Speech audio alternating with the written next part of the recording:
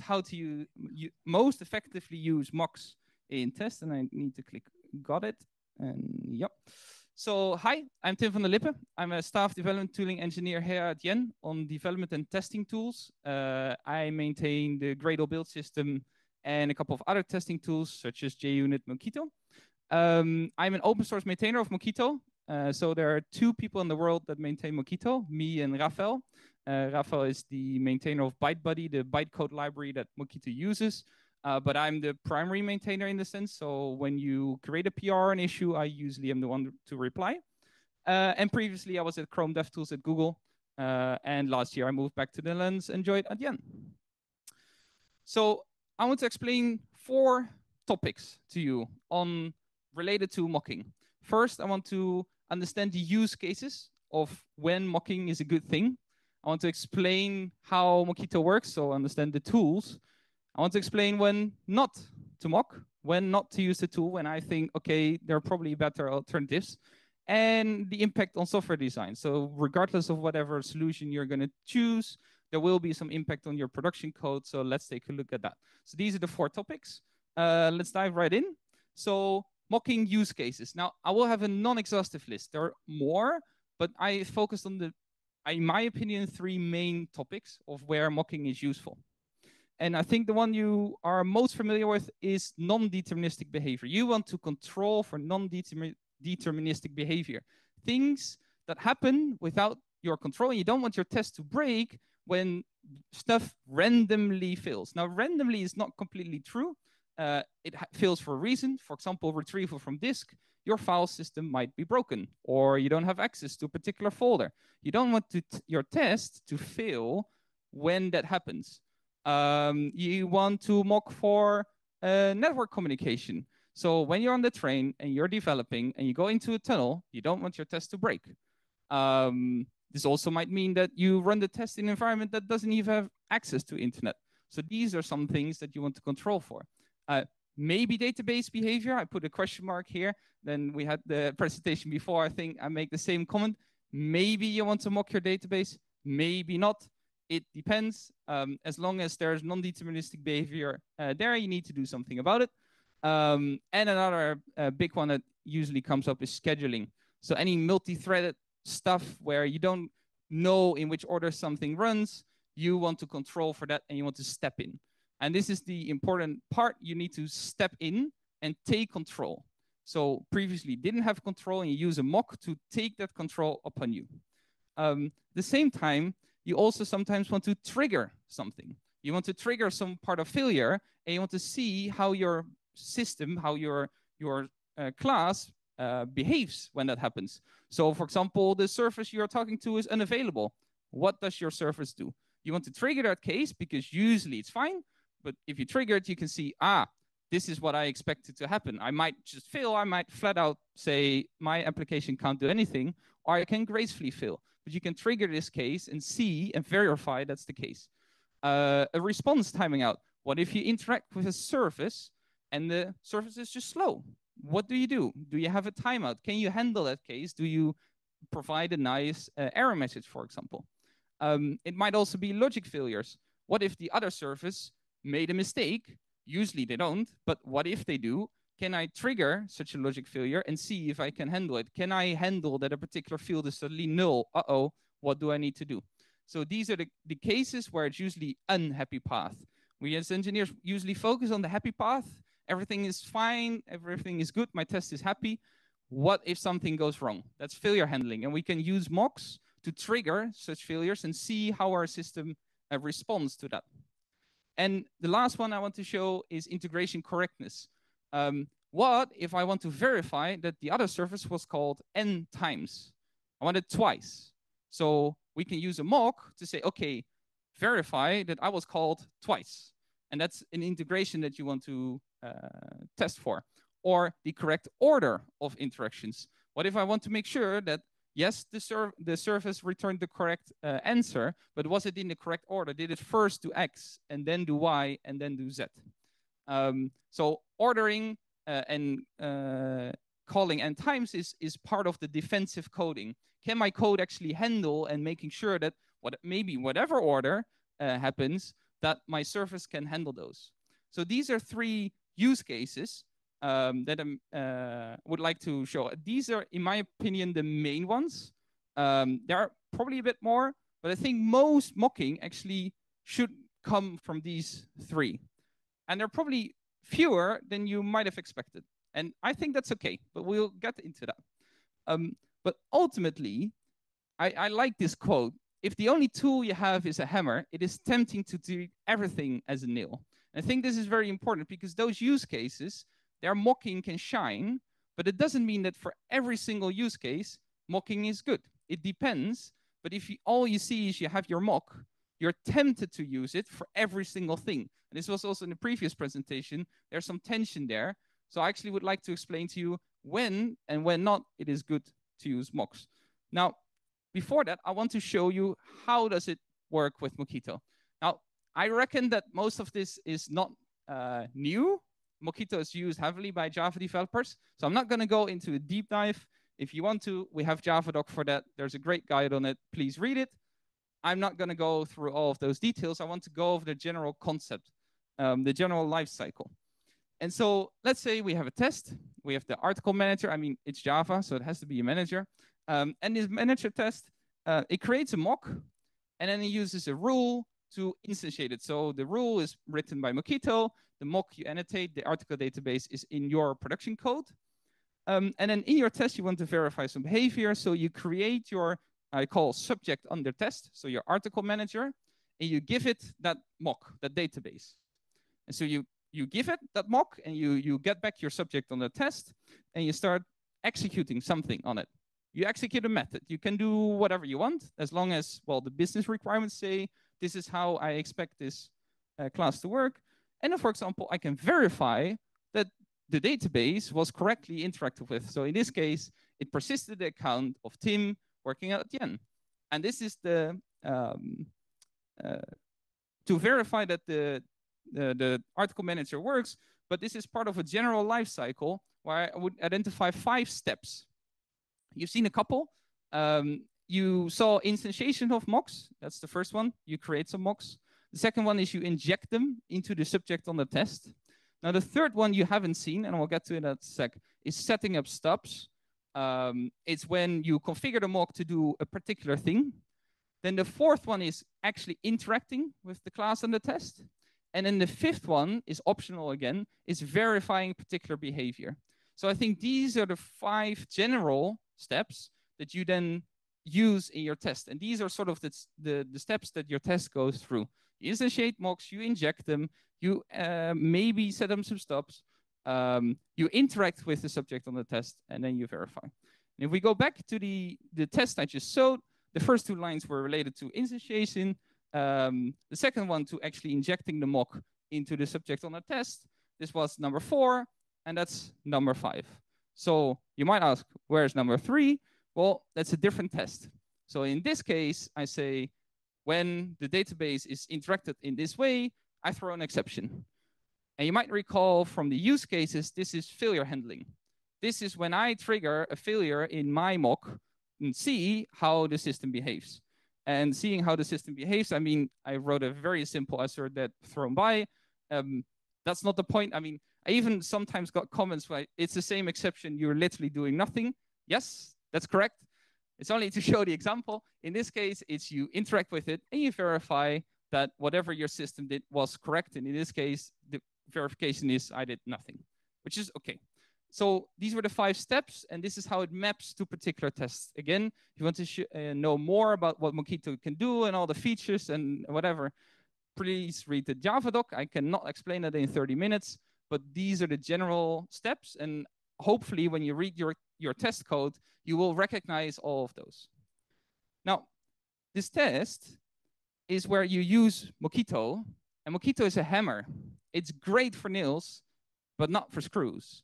It's good for mocking, but then not for other things. And so what are these other things? Well, I want to explain when not to mock. So please don't use Mockito for these kind of things. But it's tricky, it's nuanced. Eh, I can't say this is when you should, this is when you shouldn't. It depends. So when to not mock, please avoid mock complexity. So I see this a lot where I get an issue on the uh, Mockito GitHub tracker, and the amount of stubs in there is staggering. And then I have a lot of difficulty trying to understand what is happening. Um, I've seen mocks returning mocks, and then yes, it, it it can break because Mockito assumes that's not the case. And then somewhere in our bytecode, something goes wrong, and this is super difficult for us. But also, we didn't intend to Mockito to do this. And in fact, I don't think we actually can do anything about it. Literally, with the JVM, it's impossible to do uh, what we want when mocks return mocks. So it might work, it might not. We can't guarantee it, but also because we never intended it to make it work. Um, and I've also seen uh, people implement logic in custom answers. So answers are a concept that Mockito has. You can implement whatever you want uh, and basically take even more control that Mockito allows you. But then you start to implement all kinds of logic. So I've seen list interfaces being mocked and then re-implemented in custom answers. Please do not do that. That's bad. Um, so when you notice these kind of things, please reconsider. Is the mock actually doing what you want? Now you might ask, okay, but what else? Like, what else can I do?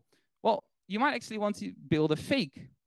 I like a fake because it's a real implementation without production constraints. So let's take a database as an example you can build a database backed by an array list. You will never deploy this to production because it's an array list. It's in memory, this never scales, it's bad, but as long as you have an interface for the database, and a database, when you insert a product and you search for it, this can be implemented using an array list. And that's okay because you're not targeting a production environment, you're targeting the interface, and you can use this dummy thing that is very fast and will certainly work because it's not a database, um, will make your test pass. And you can actually verify that that uh, fake database is implementing the interface correctly. And then you can verify that the real database does the same thing. And then if you made that uh, made that check, like, yes, my fake behaves just as the real thing, you can use the fake and that's fast. So now your test would interact with the database, but it's actually your fake one. Um, now, this sounds good, and it is, but it requires a full implementation. You need to implement the full interface. So mocks are cheap. You use mock, you do a thing, and off you go. So it's very cheap to create a mock, or to write a mock, I would say, nuance here. Um, whereas if you need to implement the whole database interface, you might as well spend two weeks on it. But that might be worth worthwhile if you need to maintain it for a couple of years. It's a trade-off. So the mock is cheap now and might bite you later, whereas the fake will take you a lot of effort, but might be better for the long term. It depends. So this is something based on experience that you will need to sort of decide. When do I go for a mock? When do we go for a fake? And the other alternative is use the real thing. Just use the real thing. Um, using the real thing is more closely to what you use in production. Because again, it's a real object. It's the same as the, the previous presentation. Um, and especially because mocking while writing it is fast, isn't necessarily cheap to run. We have to do a lot of work for that mock to do exactly what it's supposed to do. We have to handle the Java 9 module system was an absolute nightmare to, to work with. That was a lot of work for us uh, the JDK 17 deprecating internal things. That was a lot of work for us. We have to do a lot of work to make that mock exactly do what it's supposed to do. So while it's cheap to write the mock, it's not cheap to run the mock. And I think this difference is important because then it might actually be more expensive to use the mock to run than the real thing. So this is something, again, you need to decide for yourself. Um, and uh, it might actually be uh, difficult to implement full interfaces. So for the mock, yes, it sounds great to mock the list, but that might actually be very difficult because the list interface is very detailed, has loads of uh, methods. And so especially for those kind of interfaces, mocks aren't really great. But again, think of the use cases. When do mock shine? And then think about those real implementations and make that decision for yourself. And so I would say, based on experience, choose between nails and screws. You need to get gather over time your knowledge of when a mock is good when a fake is good, when the real thing is good. And then it depends. So I can't say you, in this case, use that, and in that case, use that. It, it really depends on experience. And what I've seen is people sway to one, one side and overuse one thing, then they dislike it, then they go all the way to the other thing and do only that. And then they also dislike it. But really, they're somewhere in the middle. And sometimes mocks make sense, and sometimes they don't. It's just based on experience, choose. Um, but regardless of any of that, there will be an impact on your software design. And I think most of you have actually run into this when you wrote some Java, um, that you need to inject your mocks. So static methods, oh, that's like, ooh, static methods. Now I need to mock it. Yes, we have static mock in Mockito. I know. Please only use it when you really need to. Like, yes, we have it as a feature. There are legitimate reasons when static method mocking is a good thing, but they're very minor. Like, I I personally haven't used it. We shipped it because we also saw PowerMock doing crazy things that we never intended it to do. So we shipped static mocking as an alternative, which is less bad, but still not great. So watch out for that. Um, instead, you might actually need to change your production code. And now you say, okay, but I want to write a test, and now I need to actually change my production code. And that's good. I like it. You might actually want to change your code to make it testable, and that's good. And when people say, no, no, I, you should never touch your production code if you want to test it, I would like you to challenge that. It's sometimes okay to change that code to actually make it testable, and usually that is then combined with improved architectural, all of that jazz. Um, it depends. And essentially, whether you use mocks or the fake or the real thing, you're gonna need to do this anyways. So, well, real implementations really depends. I mean, again, you do you use a dependency injection framework? Do you use Spring to auto-wire it? That all might happen. But if you use a fake, you need to inject it as well. So this impact on software design isn't just for mocks, it might be for fakes and reals uh, as well. And the example is, well, you have some production code, you have a method, and you have a dependency, and you call a static method on it. And if you try to mock this, you're in trouble. Again, yes, static mocks work, but please close out for that for now. So you would change your code. So you have a dependency as a field. You take a sip of water, you create a constructor where you take the dependency, you assign it to your field, and then in your method, you use the dependency field instead. And you can inject it, whatever framework you want to do. Uh, use a dependency framework, do it manually, doesn't really matter, as long as that mocks, the mock gets in there. If you remember the general life cycle of mocks, the second step, inject your mocks into the subject on the test. That's exactly this.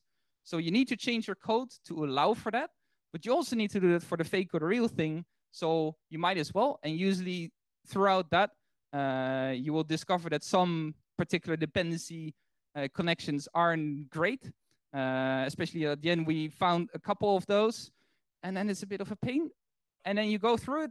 And then you actually realize, oh, this was, yeah, now it's better because now we can do X, Y, Z. So this is okay. And I say this because sometimes I hear, yeah, but my manager says or my tech lead says, don't do this. Please challenge them on that. It's okay to change your code. So the prerequisite for any of this, you have your hammer, you chose between nails or screws. The prerequisite is do not build steel walls. You're gonna have a bad time trying to get them in there. So please don't do this.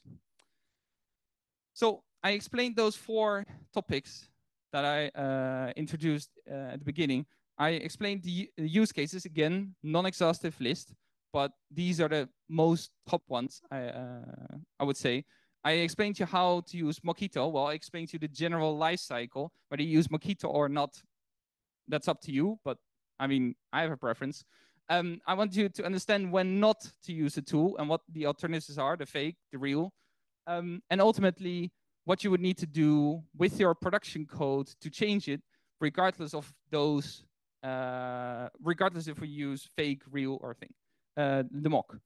And so if everything is a hammer, everything will look like a nail to you. Mockito is that hammer. You have to actually choose whether you want a nail or a screw. But in any case, do not build steel walls. Thank you. how to use most effectively mocks in test. Yeah, we can take questions. Anyone? Okay, just uh, to share, as you said, uh, using static Mockito is a big pain. I had to once. Oh my god.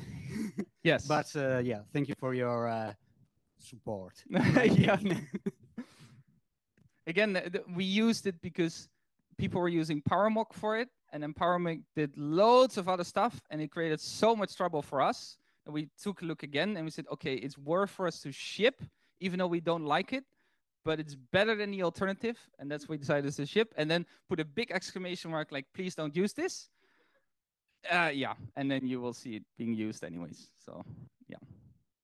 Thank you. Um, what uh, kind of test setup do you have? On which level do you use mocks and stubs and uh, what you described? Um, since Mockito is a library, it doesn't interact with the disk. It doesn't have network communication. We barely use any mocks to mock parts of Mockito. We use a lot of mocks, as in we we have a tech, test package called Mockito usage. And what we usually do is when somebody creates an issue on GitHub, uh, they have to include a reproduction case, like a snippet of code where it breaks. And what we do is we copy that code. That's what we do. We co literally copy what is in that issue. We copy it into a test, and then we start fixing the bug. And we don't do anything else because that's what the user ran into. They had that particular issue, and we we just copy because that's what the user cares about. And that's what you will see in this Mockito usage package you see loads of these kind of tests. And you even see annotations like came from this bug or did this particular thing. We do loads of stuff with class loader magic.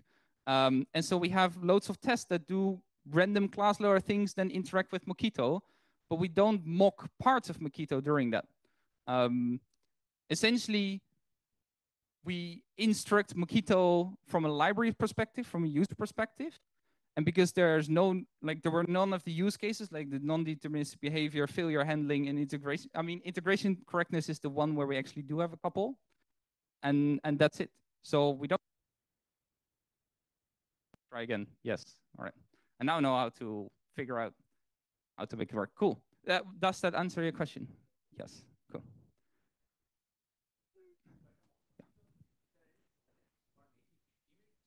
So the question is, are there any plans to support native image? And I'm assuming you mean Graal? Uh, Graal or OpenJDK 19? Um, I know Rafa is working on Graal uh, as part of a contract for Oracle. I don't know the progress on that because it's all in ByteBuddy. The ByteBuddy is the library that we use to uh, write bytecode. And that's where the, the trouble is, basically. Uh, and Mockito is sort of an interface on top of ByteBuddy. So in that sense, I'm not actually sure. I just bumped the ByteBuddy version uh, that we use. Uh, I know there were some issues. Then there was a sort of hacky snippet to make it work. this was a couple of months ago. I can ping Rafael and ask like what the status is. Um, but that's about it. Or I know Oracle has a contract with Rafael to improve the situation there. And that's all I know. Yeah. No questions?